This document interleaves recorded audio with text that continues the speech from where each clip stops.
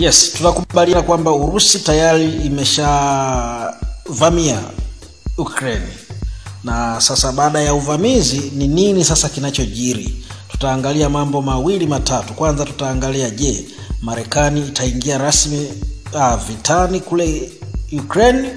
Pili, athari tunazoweza kuzipata sisi kama nchi za Kiafrika ambazo ni, ni, ni, ni, ni dunia ya wapokeaji ah, athari zake ni nini?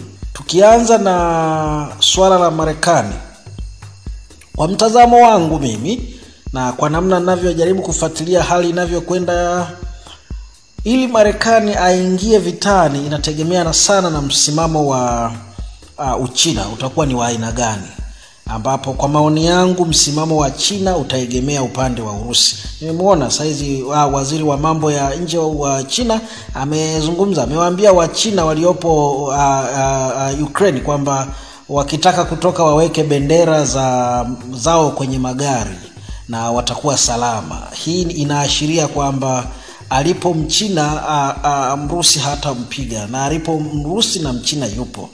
Kwa mtazamo wangu ni huo kwamba mwelekeo au msimamo wa China utaamua kama kama Marekani itaingiza majeshi Ukraine, lakini kwa kwa tafsiri ya vita tayari vimeanza kupiganwa na tayari uh, dunia imeanza kupigana na Urusi kwa maana ya, ya Marekani imeshaiwekea vikwazo kadhaa. Uh, Umoja wa Ulaya nao umetoa umetoa umetoa atmatam ya utaweka vikwazo na utaongeza vibinywa vikwazo kwa hiyo kwa maana ya vita vimeshaanza kupiganwa sasa. Vita vya kijeshi ndivyo tunavyoweza kuviangazia tu, lakini kwa tafsiri ya vita tayari vita vinaendelea kupiganwa. Uh, tangazo la Urusi lilikuwa ni ni ni ni, ni, ni, ni operation maalum katika uh, katika katika jiji la Donbas ambalo ni eneo muhimu au ni eneo muhimu lililojitenga kutoka Ukraine, eneo la, la, la Donetsk ambapo Urusi alitangaza operation maalum katika katika mji ule, lakini tumeona kuna miji kadhaa imeshashambuliwa ikiwemo ya ya, ya, ya do, Dosobad aa, na maeneo mengine yameshambuliwa. Hata, hata, hata, hata Kivu yenyewe tofauti, imekuwa tofauti kabisa na tangazo lilivyokuwa limewekwa. Sasa kwamba tayari uh, Urusi imeingia vitani uh, Ukraine kwa hiyo tunaweza tukapata picha ya aina hiyo. Haya kijeshi, haya mataifa ni yapo 50-50. Ukweli ni kwamba uh, ili ili uwe na nguvu ni lazima uwe na uchumi imara. Uh, ni lazima uwe na na, na, na, na uwezo wa kijeshi. Uh, bado Marekani atakuwa na nguvu kwa sababu ya bajeti ya kijeshi na na mazingira kadhaa, lakini kwa uwezo wa kinyuklia uh, Urusi ana hazina kubwa, ana vinu vingi vya nyuklia kuliko kuliko kuliko Marekani. Kwa hiyo bado Urusi atakuwa ni super power kwa maana ya ya eneo hilo la la, la kijeshi, lakini mambo mengine yanategemea sana msukumo wa msukumo wa unaungwa mkono na nani.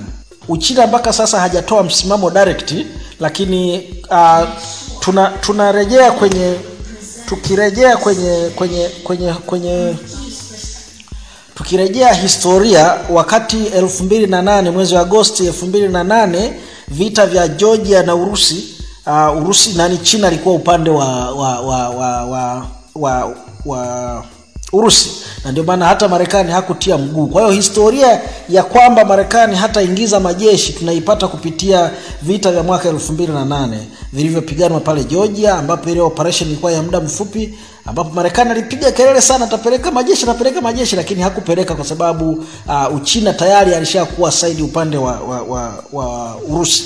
Kwa hiyo picha ile na, naanza kuipata hata sasa kwamba kuna uwezekano mkubwa uh, Urusi Uchina akadikria rasmi kwamba anamuunga mkono uh, uh, anaunga kwanza akiunga tu mkono uh, yale ma, yale mapinduzi au tuseme tuseme maasi yaliyotokea katika jiji la Donetsk na na Luhansk, akiunga mkono automatically amemuunga Urusi.